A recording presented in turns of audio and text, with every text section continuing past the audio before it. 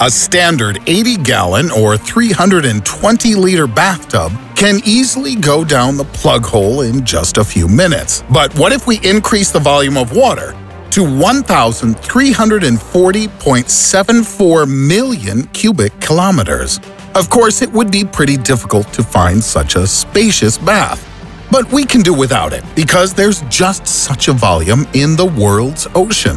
How long would it take for the world ocean to disappear?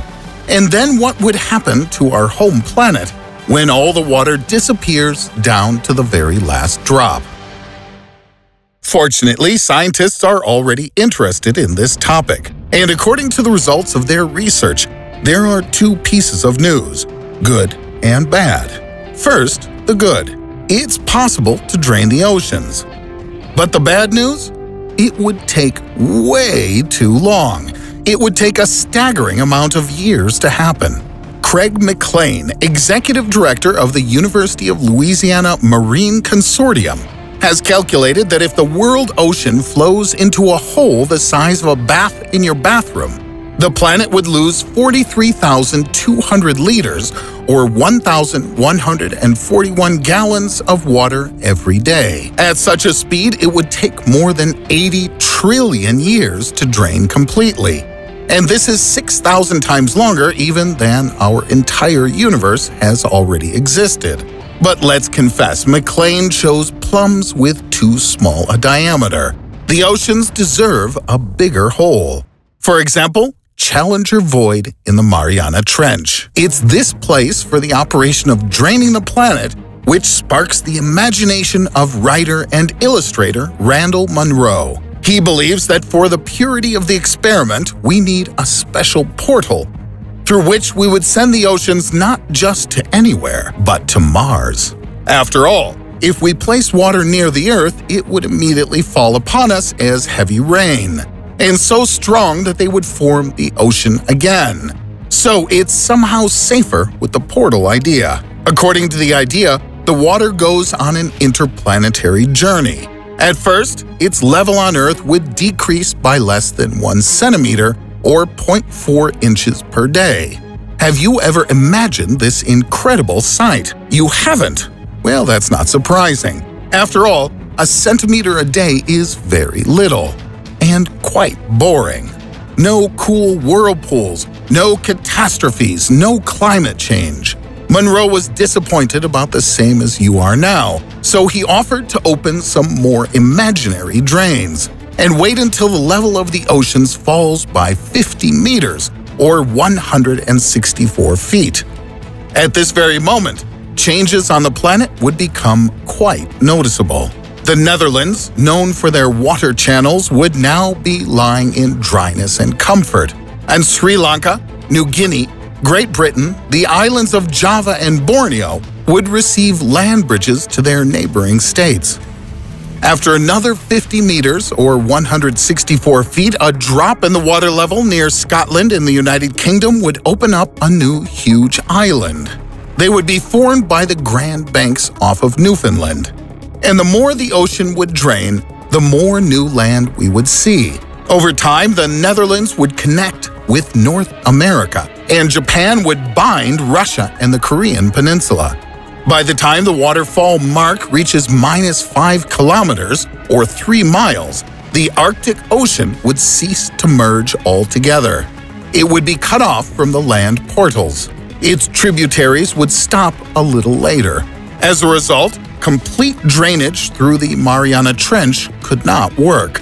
There would still be a lot of water left on Earth a data visualization researcher at the Department of Geodesy and Mathematics at the University of New Brunswick, one Ryan Brideau, visualized this cosmic plug-pulling bath time extravaganza.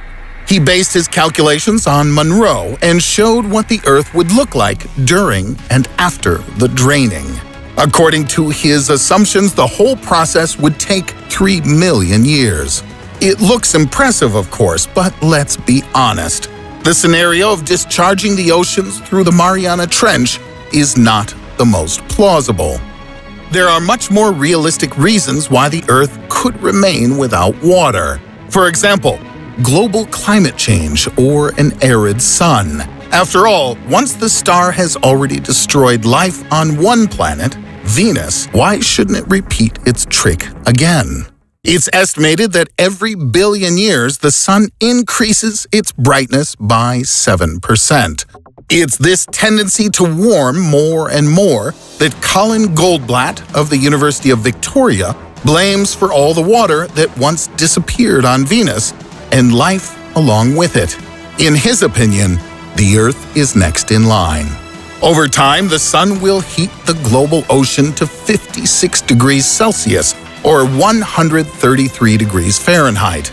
That is, it would boil and gradually disappear into space as steam. Even the clouds wouldn't help. Today, they, like umbrellas, protect us from solar radiation and cool down the hot temperatures. But as a result of ocean boiling, the greenhouse effect would increase, and with it, the protective effect of our clouds would weaken.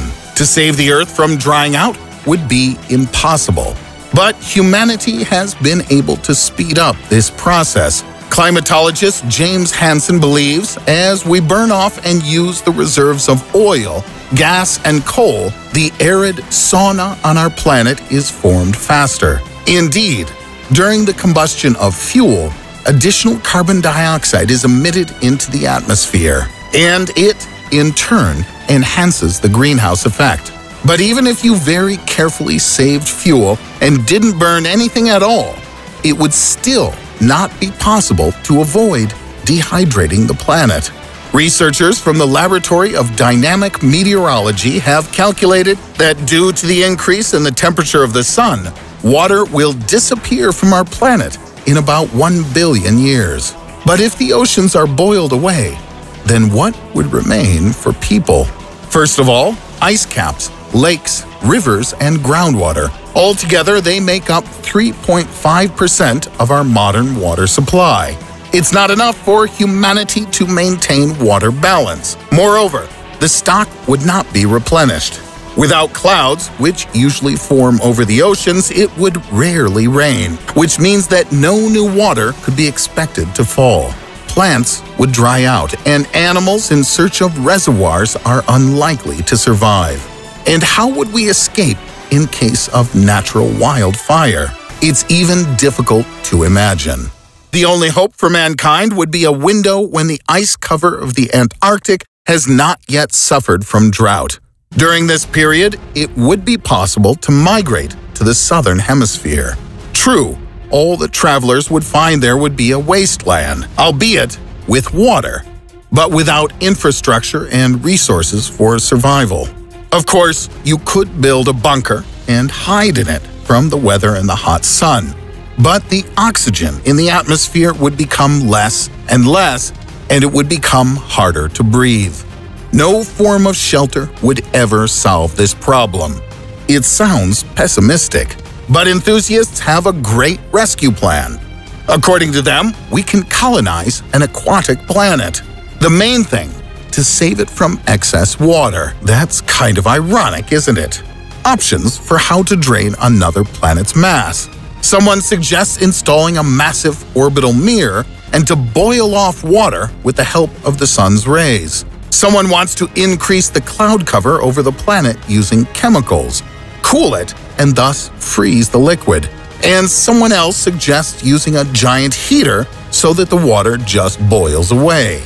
How would you drain excess fluid from an entire planet? Write in the comments even your craziest options. After all, the greatest discoveries in history have always begun from ideas that were strange at first glance. If you liked the video, give it a thumbs up and subscribe to the channel if you haven't already done so. And don't forget to click on the bell to enable notifications on the release of new videos. And stay with us, there are still a lot of interesting videos ahead. And oh yes, don't forget to recommend us to your friends. Ridddle is much more fun together. What will be if we wrap you round and round with scotch tape? Throw the whole package into a microwave oven. Roast it quite well. Feed that to a giant hungry whale. After that, drown you in the ocean. Then bury you alive, send you into space, then let you drop back down to Earth straight to the bottom of the Mariana Trench. After that, take you out and dry you under a nice warm lightning storm. Dress you up, comb you out, stick you on a plane, climb to a height of 30,000 feet, and toss you out once more, where you plummet back down to the unyielding surface. Of course, without a parachute. What will happen then? Let's ask Arnold. How are you feeling, buddy? You still on your feet? Well then, how about this? There's no time to explain. Just click on the link in the description and watch the first episode in this awesomely great new cartoon series, soon to explode across the entire damn internet. Come on, press the button. You can't resist subscribing to this channel.